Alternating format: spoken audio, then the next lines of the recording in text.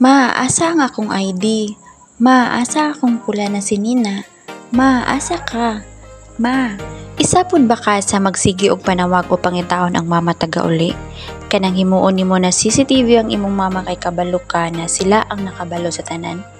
Well, aminin, kitang tanan nakaagi ani og kasagaran pagani maski mga tiguang nata mao gihapon ni atong mga gipangbuhat, di ba?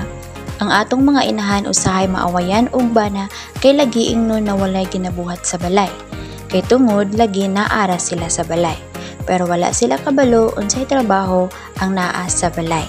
Sila ang manghugas, manghinlo, manglaba, magkatiman sa anak, magluto para inag-abot sa bana o mga anak andam na. Dili sila makatulog o makapahulay kay daghan kayo sila og buluhaton.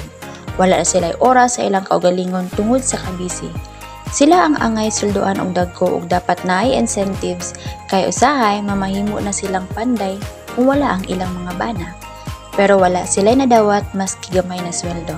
Mawang angay natong buhaton isip bana o anak, i-appreciate nato sila sa ilang mga gipangbuhat para sa atoa.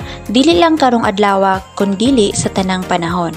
Ato silang ikis, inaguli, ihag para mugaan ang ilang gibati nakakapoy sa tibok adlaw. Ang pagmahal sa usa ka inahan walay makasukod. Musugot ra na sila na dili usa mo kaon kay unahon ka. Musugot ra na sila na daog-daogon basta dili lang ikaw. Sila ang pinakauna na masakitan pag naa sila'y madungog na dili maayo batok sa imuha. Andam sila mulaban para sa imuha. Dili nato masabtan ang ilang kamaldita pero moabot ang panahon na makaingon ka nga ay tama gid ay si mama. May ragyod ni patuo ko sa iyaha. Ang worst lang is ang pagmahay. Makaingon ka na may panituman kong mama, wala unta ko na ing ani. Hunahunao na to pag ayo na ang usa ka inahan dili lalim ilang kaagi para matarong ang imong kinabuhi. Kung sa karon nagrebelde kay tungod kay wala nimo nasabtan ang imong mama, ayaw na naipadayon. Kaya ang usa ka inahan magpakainahan gyud. Buhaton nila ang tanan para naaka sa tama na dalan. Daghan kayong salamat sa tanang mama sa tanan ninyong sakripisyo para sa amuha, sa pagatiman sa amuha ug sa pagpadako nga matarong, sa pagpakaon, pag-ilis, pagpukaw para mo eskwela. Ug hangtod karon nadagko nami naa gihapon mo sa among kilid.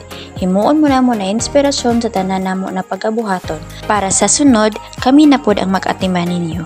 Happy Mother's Day sa tanan mama, ante, lola, ninang og sa mga for mami pod dili biya lalim mag-atiman og itoy.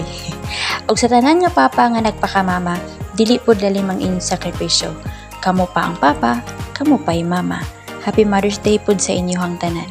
Kanina order is gituyo gyud para sa ato ang mga mama. Among client is grabe ka jolly wala gyoy libog among paghimo ani ng mga orders. Magpadungag punta sila og 200 pieces kaso di nakaabot sa Mother's Day.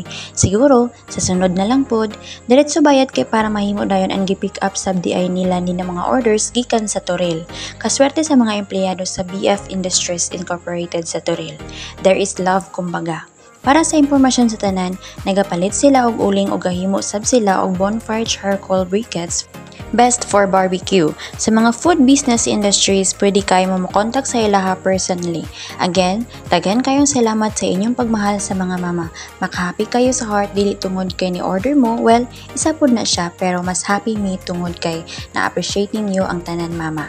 Again, sa tanan mama, Happy Mother's Day! Happy Mother's Day, Mama. I love you. Sunod na pod, buyers!